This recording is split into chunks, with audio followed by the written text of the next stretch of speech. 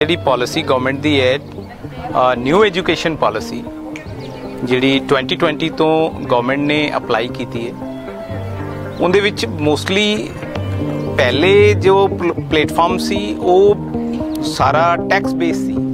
ਹੁਣ ਉਹ ਕਾਫੀ ਹੱਦ ਤੱਕ ਡਿਜੀਟਲ ਤੇ ਟੈਕਸਟ ਦੋਨਾਂ ਦਾ ਮਿਕਸਚਰ ਹੈ।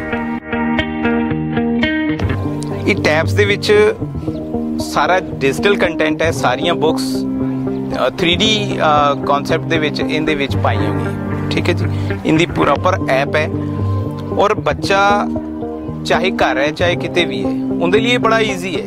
ਚੀਜ਼ਾਂ ਨੂੰ ਵਿਜ਼ੂਅਲਾਈਜ਼ ਕਰਨਾ ਬੜਾ ਆਸਾਨ ਹੈ। ਜਿਸ ਤਰ੍ਹਾਂ ਕਿ ਜਿਵੇਂ ਆਪਾਂ ਮੂਵੀ ਦੇਖਣ ਜਾਂਦੇ ਹਾਂ, ਤਾਂ ਹਰ ਬੰਦੇ ਨੂੰ ਮੂਵੀ ਸਮਝ ਆ ਜਾਂਦੀ ਹੈ, ਕੋਈ ਵੀ ਬੰਦਾ ਹੋਵੇ। ਠੀਕ ਹੈ ਜੀ?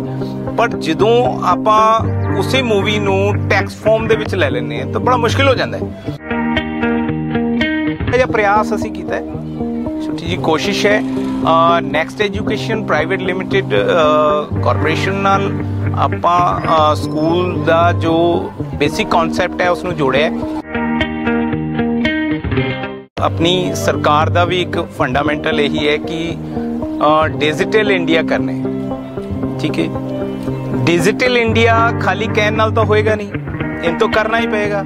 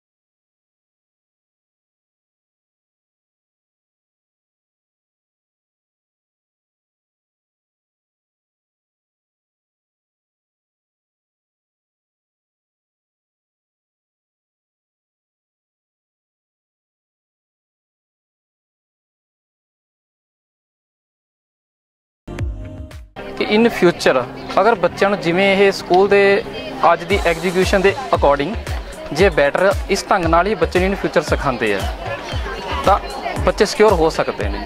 ਕਿ ਜਿਹੜਾ ਬੱਚਾ ਬੁੱਕਸ ਦੇ ਵਿੱਚ ਰੀਡ ਕਰਦਾ, ਉਹ ਪ੍ਰੈਕਟੀਕਲ ਵੀ ਕਰ ਸਕਦਾ। ਕਿਉਂਕਿ ਆਬਵੀਅਸਲੀ ਜਿਹੜਾ ਨੈਕਸਟ ਟਾਈਮ ਆ ਰਿਹਾ ਜਾਂ ਆਉਣ ਵਾਲਾ ਟਾਈਮ ਹੈ, ਉਹ ਜਿਹੜਾ ਡਿਜੀਟਲ ਇੰਡੀਆ ਲਾ ਲਓ, ਚਾਹੇ ਤੁਸੀਂ ਉਹਨਾਂ ਨੂੰ ਬੱਚੇ ਤੋਂ ਜ਼ਿਆਦਾ ਡਿਵੈਲਪਮੈਂਟ ਲਾ ਲਓ, ਉਹ ਸਾਰਾ ਬ੍ਰੇਨ ਦੇ ਅਕੋਰਡਿੰਗ ਹੀ ਚੱਲੂਗਾ। ਤੇ ਬੱਚੇ ਨੂੰ ਐਜ਼ ਅ ਪ੍ਰੈਕਟੀਕਲ ਕਰਨਗੇ ਤਾਂ ਸੋ ਬੈਟਰ तो बहुत अच्छा पढ़ा रहे ने बहुत अच्छी ऐप है ਬਹੁਤ ਅੱਛਾ ਲੱਗਿਆ ਸਰ ਮੈਸੇਜ ਕਰਨਾ ਚਾਹਾਂਗੀ ਕਿ ਜਿਹੜੇ ਪੇਰੈਂਟਸ ਹੈ ਹੋਰ ਬੱਚਿਆਂ ਦੇ ਉਹ ਇੱਥੇ ਵਿਜ਼ਿਟ ਕਰਨ ਹੋਰ ਸਕੂਲਸ ਨਾਲੋਂ ਮੇਰਾ ਨਾਮ ਸੁਸ਼ੀਲ ਗੋਇਲ ਹੈ ਮੇਰੇ ਬੱਚੇ ਇਹ ਸਕੂਲ 'ਚ ਲਾਸਟ 2 ਸਾਲਾਂ ਤੋਂ ਪੜ੍ਹ ਰਹੇ ਨੇ ਸਕੂਲ ਦਾ ਸਟੱਡੀ ਦਾ ਸਿਸਟਮ ਬਹੁਤ ਵਧੀਆ ਹੈ ਜਿਹੜੀ 2020 ਦੇ ਵਿੱਚ ਗਵਰਨਮੈਂਟ ਨੇ ਪਾਲਿਸੀ ਕੀਤੀ ਸੀ ਇਹ ਸਕੂਲ ਉਸ ਤਰ੍ਹਾਂ ਦੀ ਪਾਲਿਸੀ ਤੇ ਕੰਮ ਕਰ ਰਿਹਾ ਹੈ ਤੇ ਕੋਵਿਡ ਦੇ ਵਿੱਚ ਵੀ ਸਾਨੂੰ ਇਹ ਚੀਜ਼ ਦਾ ਬਹੁਤ ਵਧੀਆ ਬੈਨੀਫਿਟ ਰਿਹਾ ਬਹੁਤ ਵਧੀਆ, ਬੱਚਿਆਂ ਦੇ ਮਤਲਬ ਕਿ ਪੜ੍ਹਾਈ ਬਿਲਕੁਲ ਡਿਸਟਰਬ ਨਹੀਂ ਹੋਈ।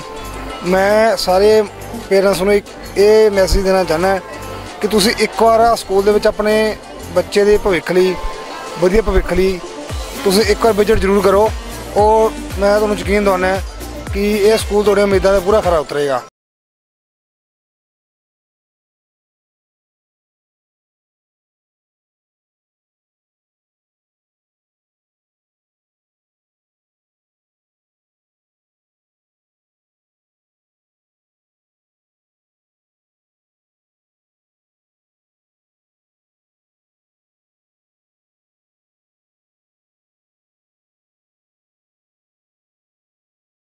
बहुत अच्छा लग रहा है यहाँ पे आके हाँ जी मेरा नाम नेहा सिंगल है ਨਹੀਂ ਸ਼ੀ ਸਟੱਡਿੰਗ ਇਨ ਬਚਪਨ ਸਕੂਲ ਬਹੁਤ ਵਧੀਆ ਲੱਗਿਆ ਬੱਚਿਆਂ ਦੇ ਸਮਝਾਉਣ ਦਾ ਤਰੀਕਾ ਇੰਗਲਿਸ਼ ਸਮਝਾ ਰਹੇ ਨੇ ਬਹੁਤ ਵਧੀਆ ਲੱਗਿਆ ਦੂਜੇ ਸਕੂਲਾਂ ਨਾਲੋਂ ਡਿਫਰੈਂਸ ਇਹ ਹੈ ਕਿ ਇਹ ਜੋ ਟੈਕਨੀਕ ਯੂਜ਼ ਕਰਦੇ ਆ ਇਹ ਕੋਈ ਸਕੂਲ ਨਹੀਂ ਕਰ ਰਿਹਾ ਇਹਦੇ ਨਾਲ ਬੱਚੇ ਨੂੰ ਅੱਜ ਕੱਲ ਦਾ ਟਾਈਮ ਜੋ ਹੈ ਕੰਪਿਊਟਰ ਦਾ ਟਾਈਮ ਹੈ ਇੰਟਰਨੈਟ ਦਾ ਟਾਈਮ ਹੈ ਤੇ ਉਹੀ ਬੱਚਿਆਂ ਨੂੰ ਟੈਬ ਦੇ ਥਰੂ ਟੀਚਰ ਸਮਝਾਣਗੇ ਤੇ ਬ- ਬੱਚਿਆਂ ਲਈ ਅੱਗੇ ਲਈ ਵਧੀਆ ਹੈ ਪੇਰੈਂਟਸ ਨੂੰ ਜ਼ਰੂਰ ਕਹਿਣਾ ਚਾਹੂੰਗਾ ਕਿ ਇੱਕ ਵਾਰੀ ਜ਼ਰੂਰ ਵਿਜ਼ਿਟ ਕਰਨ, ਜ਼ਰੂਰ ਦੇਖਣ এনवायरमेंट ਇੱਥੇ ਦਾ ਤੇ ਆਪਣੇ ਬੱਚੇ ਨੂੰ ਜ਼ਰੂਰ ਇੱਥੇ ਲਗਾਉਣ।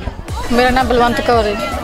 ਜਿਹੜੀ ਅੱਜ ਐਗਜ਼ੀਬਿਸ਼ਨ ਲਗਾਈ ਗਈ ਹੈ ਕੀ ਕਹੋਗੇ ਇਸ ਬਾਰੇ ਕੀ ਸੋਚਦੇ ਤੁਸੀਂ? ਕਿੰਨਾ ਕੁ ਡਿਫਰੈਂਸ ਹੈ ਦੂਜੀ ਸਟੱਡੀ ਨਾਲੋਂ? ਸਰ ਦੂਜੇ ਸਕੂਲਾਂ ਨਾਲੋਂ ਬਹੁਤ ਜ਼ਿਆਦਾ ਡਿਫਰੈਂਸ ਹੈਗਾ ਇਹਦੇ ਵਿੱਚ ਡਿਫਰੈਂਸ ਇਹ ਹੈ ਕਿ ਕਿ ਇਹਨਾਂ ਦੇ ਮਤਲਬ ਸਕੂਲ ਦਾ ਪੜਾਉਣ ਦਾ ਤਰੀਕਾ ਵੀ ਸਾਨੂੰ ਬਹੁਤ ਵਧੀਆ ਲੱਗਿਆ ਕਿਉਂਕਿ ਜਿਵੇਂ ਅੱਜ ਕੱਲ੍ਹ ਦੀ ਜਨਰੇਸ਼ਨ ਹੈਗੇ ਵੀ ਬੱਚੇ ਜਿਹੜੇ ਹੈਗੇ ਉਹ ਜ਼ਿਆਦਾਤਰ ਫੋਨ ਦੇਖਦੇ ਆ ਘਰੇ ਵੀ ਉਹਨਾਂ ਨੇ ਫੋਨ ਤੋਂ ਹੀ ਮਤਲਬ ਪੜ੍ਹਨਾ ਹੁੰਦਾ ਇਸ ਕਰਕੇ ਜੋ ਫੋਨ ਦੇ ਵਿੱਚ ਜਿਹੜੇ ਇਹਨਾਂ ਨੇ ਐਪ ਮਤਲਬ ਸ਼ੋਅ ਕੀਤੀ ਹੈਗੀ ਆ, ਉਹਦੇ ਵਿੱਚ ਬੱਚੇ ਵੀ ਬਹੁਤ ਜ਼ਿਆਦਾ ਸਿੱਖਦੇ ਹੈਗੇ ਉਹਨਾਂ ਦਾ ਇੰਟਰਸਟ ਬੁੱਕਸ 'ਚ ਨਹੀਂ ਹੁੰਦਾ ਜਿੰਨਾ ਫੋਨ ਦੇ ਵਿੱਚ ਹੁੰਦਾ ਵੀ ਫੋਨ ਦੇ ਜਰੀਏ ਬਹੁਤ ਕੁਝ ਸਿੱਖ ਸਕਦੇ ਆ ਸਰ।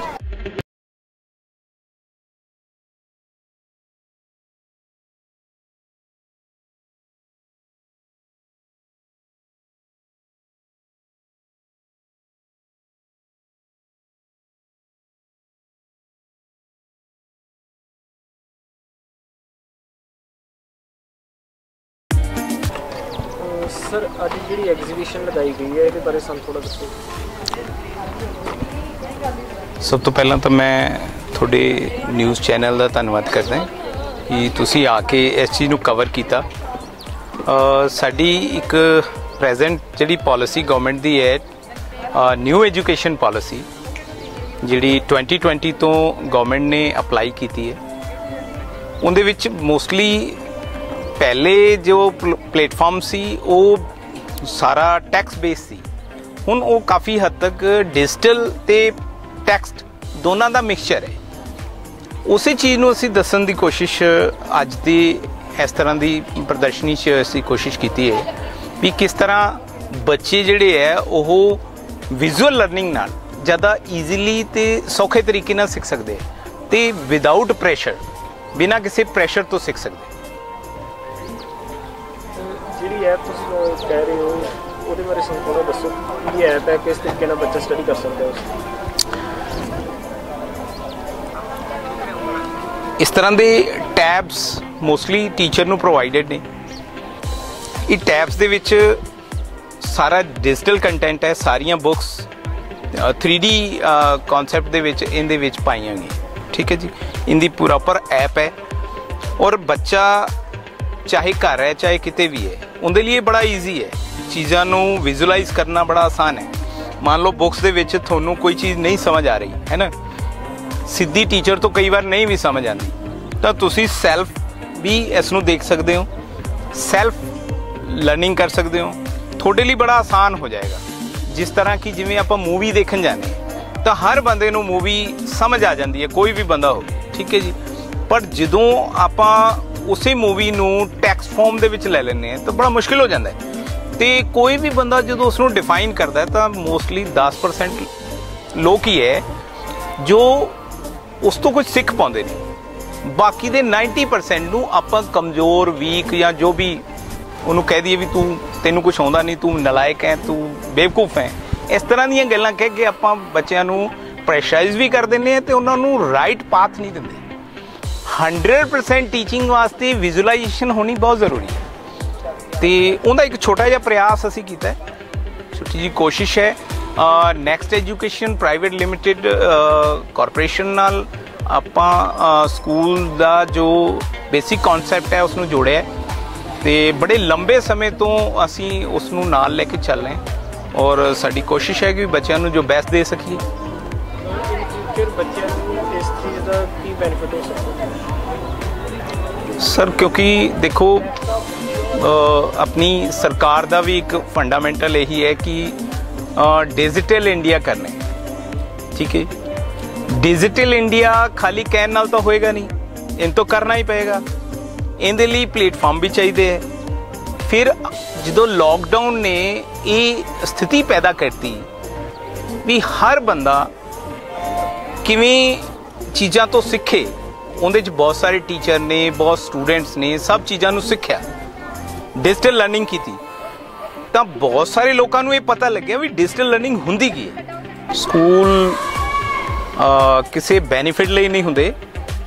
ਇਹ ਫॉर ਸੋਸ਼ਲ ਕਾਜ਼ ਲਈ ਹੁੰਦੇ। ਹੈ ਤੇ ਇੱਕ ਦਿਨ ਅਸੀਂ ਜੋ ਫਾਊਂਡੇਸ਼ਨ ਡੇ ਤੇ ਅਸੀਂ ਉਹ ਸਾਰੇ ਲੋਕਾਂ ਨਾਲ, ਉਹਨਾਂ ਨੂੰ ਇੱਕ ਗਿਫਟ ਦੇ ਤਰ੍ਹਾਂ ਵੀ ਅੱਜ ਕੋਈ ਵੀ ਕਿਸੇ ਬੱਚੇ ਤੋਂ ਅਸੀਂ ਐਡਮਿਸ਼ਨ ਫੀਸ ਨਹੀਂ ਲਵਾਂਗੇ ਤੇ ਖਾਲੀ ਉਹਦੀ ਮੰਥਲੀ ਫੀਸ ਹੈ, ਉਸ ਨਾਲ ਤਾਂ ਕਿ ਜ਼ਿਆਦਾ ਤੋਂ ਜ਼ਿਆਦਾ ਲੋਕਾਂ ਨੂੰ ਇਸ ਗੱਲ ਦਾ ਪਤਾ ਲੱਗੇ ਕਿ ਡਿਜੀਟਲ ਫਾਰਮੈਟ ਨਾਲ ਪੜਿਆ ਕਿਵੇਂ ਜਾਂਦਾ ਹੈ। ਇਹ ਅੱਗੇ ਫਾਰਵਰਡ ਹੋਏਗਾ? ਜਿਵੇਂ ਕਿ ਕੋਡਿੰਗ ਆਉਣ ਵਾਲੇ ਟਾਈਮ ਦਾ ਇੱਕ ਬਹੁਤ ਹੀ ਇੰਪੋਰਟੈਂਟ ਪਾਰਟ ਹੈ।